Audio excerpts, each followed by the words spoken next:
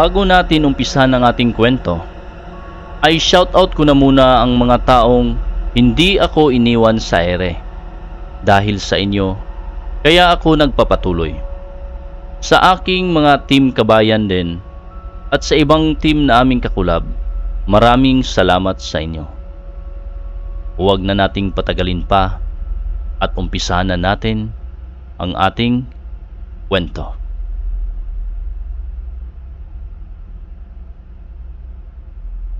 Muling nagwika si Alanang. Sino ba ba sa inyo ang gustong mabura dito sa mundong imbabaw? Ha? Sagot! Matapos magsalita ni Alan, ay biglang lumitaw din sa kanyang likuran ang kanyang maestro at nagwika ng. Umalma ka lang Alan. Huwag mong hayaan ang galit ang bumalot sa iyong puso at isipan. Nang marinig ito ng binata, ay bahagya namang kumalma ito. Walang ano-ano, ay biglang tumawa ang natitirang mga gabunan at nagwika ng. Napakatapang mo yata, binata. Baka kainin mo ang iyong mga sinasabi. Umalis na kayo ng maglolo sapagkat hindi kayo ang pakay namin kung hindi ang mga aswang na nasa likuran ninyo. Diba? Nasa panig kayo ng kanan? Bakit tila kumakampi pa kayo sa mga demonyong yan? Tumugon naman si Maestrong Pablo ng, Ang pagtulong ay walang pinipili. Mapapanig man ito ng kaliwa o sa kanan. Kung sakaling may ginawang kademonyuhan ang grupo nila Simon, kami na mismo ang lilipol sa kanila. Umalis na kayo dito at huwag na kayong babalik pa dahil kung magmamatigas kayo ay dadanak ang dugo dito sa kinakatayuan natin. Dahil sa mga narinig ay nag-angil ang mga gabunan at nagpalit ito ng mga anyo. Dahil sa mga nasilayan ng maglolo, ay dali-dali naman lang tinawag ang kanilang mga kasangga upang sila ay matulungan. Hindi naman binigo si Alan at dali-dali namang lumitaw si Nabagsik, Haring Damos at Tagabantay. Nagpalit na din ng anyo sina Simon at ang kanyang mga kasamang aswang sa pugad upang ihanda ang mga sarili. Isap mata lang ay biglang naglaho ang mga gabunan sa kadiliman at labis naman iyong ikinatakot ng mga aswang na kasama ni Simon sapagkat hindi nila alam kung kailan at saan sila aatake. Bantayan ninyo ang ating mga kabataan at kababaihan. Ihanda ang mga sarili sa pakikipaglaban. Protektahan sila kahit buhay pa natin ang kabayaran. Puran ni Pinonong Simon. Mabilisang nananakbo papaikot ang mga gabunan sa kadiliman at ang maglolo naman ay kalbadong nakatayo pa rin sa kanilang kinakatayuan. Ang hindi alam ng mga gabunan na kahit anong gawin lang pagkukubli sa kanilang sarili ay kitang-kita pa rin sila ng maglolo. Walang ano-ano ay biglang may sumugod sa maglolong apat na gabunan. Hindi pa nakakalapit ang mga gabunan sa kanila ay mabilis na silang sinunggaban ng kanilang mga gabay at kinitilan ng buhay. Sa kabilang dako naman, si Haring Damos at si Tagabantay ay nakikipaglaban na rin sa natitirang gabunan at gayon din ang gabay din na maharlikang inkanto ni Maestrong Pablo. Si Pinunong Simo naman ay merong isang katunggali na gabunan at kitang kita ni Alan na lubha itong nahihirapan sapagkat marami na itong natatamong sugat. Ang iilan din sa mga kasanggang aswang ni Pinunong Simon ay namamatay na din sa pagsunggab ng pinunong gabunan ng kalaban. Hanggang sa, nang akmang susunggaban na nito ang mga batang aswang, ay biglang lumitaw si Alan sa kanyang harapan at dali-dali siyang hinawakan sa kamay nito at ibinalibag patungo sa gitna ng pugad. Mabilisan namang bumangon ang pinuno ng mga gabunan at nag-angil. Dahan-dahan namang naglakad ang binata patungo sa kanya habang pinapalibutan ng mga aswang ang buong paligid. Habang naglalakad ang binata, ay nasipat niya si Maestrong Pablo na nakaupo sa isang gilid na naninigarilyo at animoy wala itong kinakaharap na digmaan sapagkat sobrang kalmado ito. Habang papalapit na nang papalapit ang binata sa gabunan, ay nagwika ito ng, Oh, bakit parang takot na takot ka? Ramdam mo na ba ang iyong nalalapit na kamatayan? Di ba mayroon kang sinabi kanina? Hindi tumugon ang gabunan sa halip ay nag-angil ito at buong lakas na sumugod sa binata. Iniiwasan lang naman ito ni Alan na parang pinaglalaroan lang ang gabunan. Nang nagsawa ng binata sa kanyang pag-ilag, ay naisip niya ang bigay na talibong sa kanya ni Haring Damus. Naisipan niya itong gamitin upang masubukan ang tinatago nitong lakas at abilidad. Nang muli siyang kinalamot ng gabunan, ay dali-dali naman niya itong hinataw ng talibong sa kamay at isang kisap mata lang ay humiwalay ang kamay ng Nibonyos sa kanya. Matapos gawin ito ni Alan, ay nasisipat niyang dahan-dahang natutunaw ng paunti-unti ang gabunan hanggang sa Natunaw kahit pa ang kahuli-hulihang hibla ng balahibo ng demonyo. Matapos ang kaganapan, ay nakarinig siya ng boses ni Haring Damus at nagwika ng, Kaibigang Alan, ang isa sa katangian ng ipinagkaloob ko sa iyong sandata ay ang makatunaw ng kaluluwa at katawang lupa nito. Kasabay ang paglinis sa mga kaluluwa ng mga masasamang elemento. Dahil sa narinig, ay naliwanagan ang binata sa kaganapan. Matapos ang digmaan, ay biglang tumahimik ang buong paligid. Ang nakabasag lang ng katahimikan ay ang iyakan ng mga pamilyang namatayan dahil sa digmaan. Isa-isang kinuha nila ang mga patay na katawan ng mga gabunan at sinunog. Sa kabilang dako naman, ay nasisipat ni Alan ang kanyang maestro na kausap si Simon at napagdesisyonan niyang lapitan ang mga ito. Sa bawat pagakbang ni Alan, ay kitang-kita niya ang pag-atras ng mga aswang sa paligid na animoy natatakot sa binata. Nang makarating na ito sa kanyang lolo, ay nagwika naman si Pinonong Simonang Alan, maraming salamat sa tulong ninyo ni Maestrong Pablo. Matatahimik na din ulit ang aming pugad. Nang marinig ito ng binata, ay tumugon naman ito ng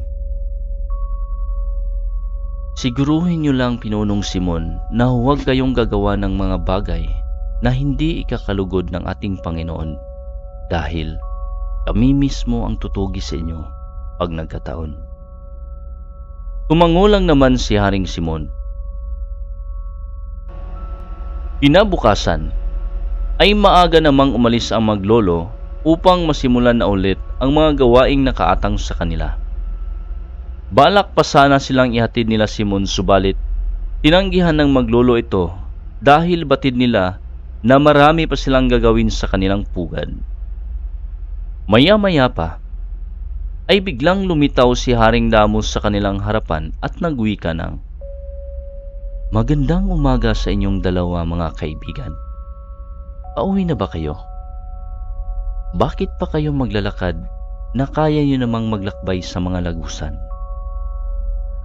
Nakalimutan mo na ba, Alan? Na ipinagkaloob ko sa iyo ang aking kakayahan? Matapos sambitin ito ni Haring Damus, ay ipinakita niya sa maglolo kung ano ang gagawin at ang mga usal para rito. Nang matapos na si Haring Damos sa pagsasalita, ay sinubukan namang gawin ito ni Alan at nagtagumpay naman siya.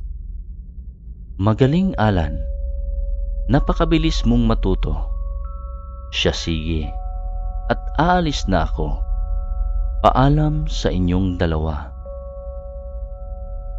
Nang nawala na si Haring Damos, ay mabilisan naman silang pumasok sa lagusan at tulad ng dati, ay doon sila sa likuran ng bahay ni Maestrong Pablo dumating.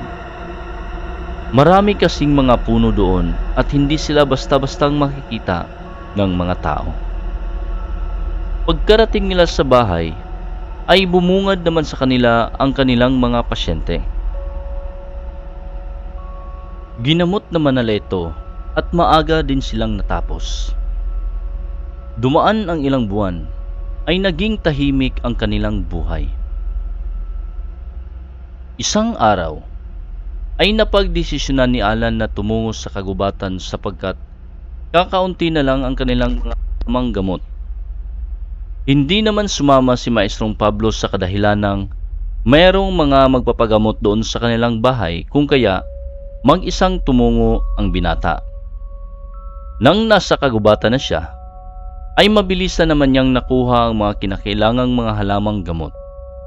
Sa tulong ng kanyang mga gabay, ay mabilisan naman niya itong natutuntun ang pinagkakalagakan ng mga ito. Maya-maya pa, ay may nakita si Alan na isang batang naglalaro sa kanyang unahan. At nang nakita siya nito, ay kumaripas ito ng takbo patungo sa looban ng kagubatan. Hindi naman ito pinansin ni Alan sapagkat nagmamadali itong umuwi upang matulungan ang kanyang lolo sa mga gawain. Ngunit, biglang lumitaw si Bagsik sa kanyang harapan na nakatitig sa isang dako. Nang sinipat ni Alan itong mabuti, ay may apat na panauhin doon kasama ang bata. Bigla namang nagwika si Bagsik ng, Kaibigang Alan, mag-iingat ka. Hindi mga ordinaryong tao ang mga yan. Ramdam ko ang kanilang kalakasan. Naglakad naman ng dahan-dahan ang mga taong nasisipat nila papalapit kay Alan. At nang ilang di pa na lang ang mga ito, ay nagwika ang isa sa kanila ng Magandang araw sa inyo, Ginoong Alan.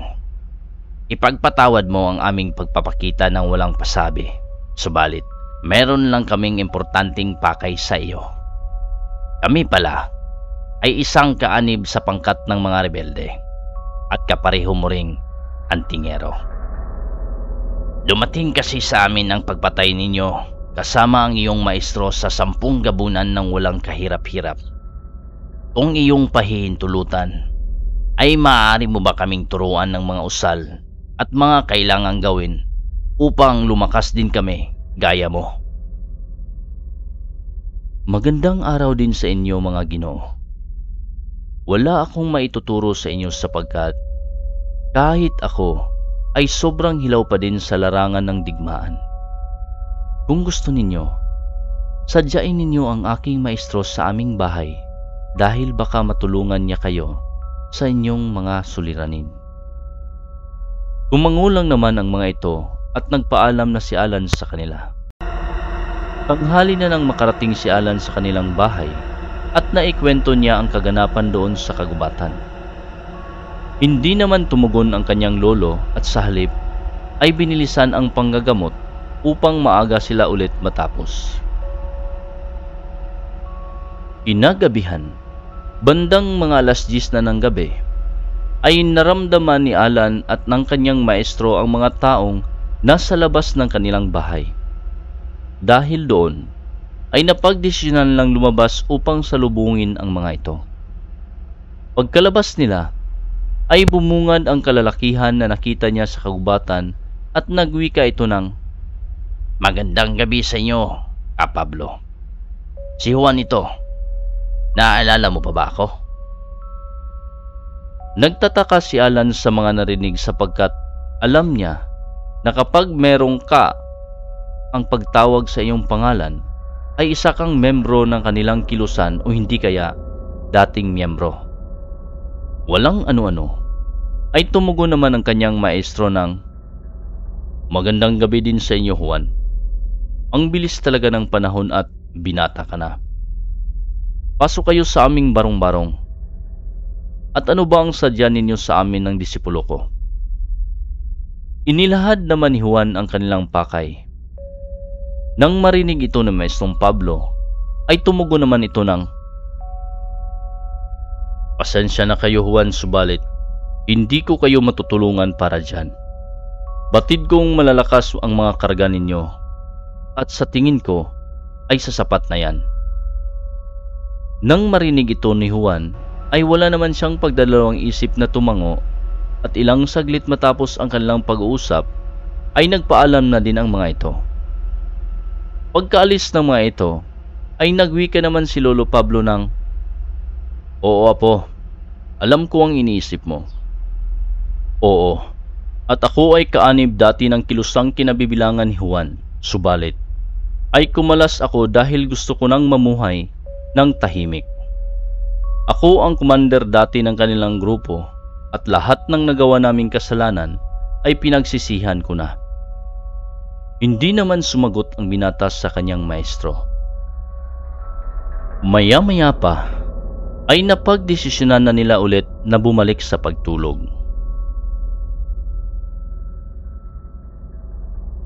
Okay. Napakalakas pala ng talibong na binigay ni Haring Damo sa binata mga katalambuhay, no? Biruin mo yung sinasabi nilang natutunaw ang kaluluwa at katawang lupa ng sino mang matamaan nito. Ano kaya ang magiging papel ni Juan sa mga susunod na yugto ng ating mga kwento? Yan ang ating aabangan sa susunod na yugto ng ating tampok na kwento. Muli, ako ay nagpapasalamat sa inyong walang sawang suporta sa ating mga kwento. Maraming salamat.